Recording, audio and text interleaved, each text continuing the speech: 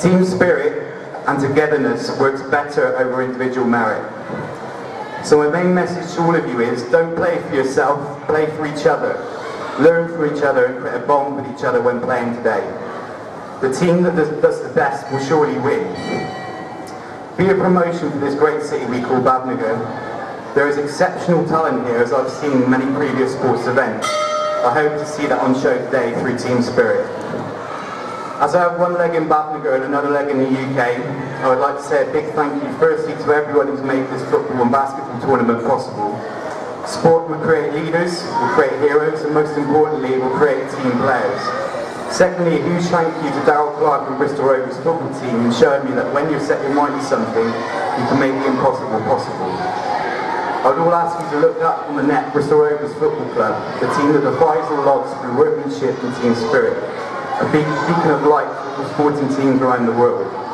I know that this city is capable of achieving the same sport. So Jay Bhavnagar, good luck, play your hearts out, and may the best team win.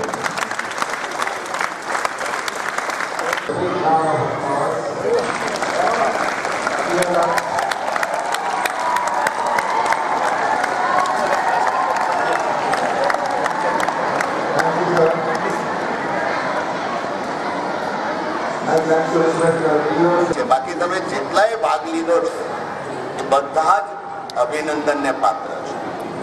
અને બીજી એક વાત, તમારી તંદુરસ્તી જોરદાર રહેવાની છે, એનો મને પાકો વિશ્વાસ. ખૂબ તંદુરસ્તી સારી રાખશો અને ટેકનિક શીખશો, એટલે અને આશીર્વાદ ભગીરથભાઈ અને શક્તિસિંહભાઈના છે. અને ઓલિમ્પિકમાં આપમાંથી બધા રમવા જાઓ, એવી શુભેચ્છા સાથે everyone and I wish all of them the very best and show their sportsman spirit, sportsmanship and may the best play.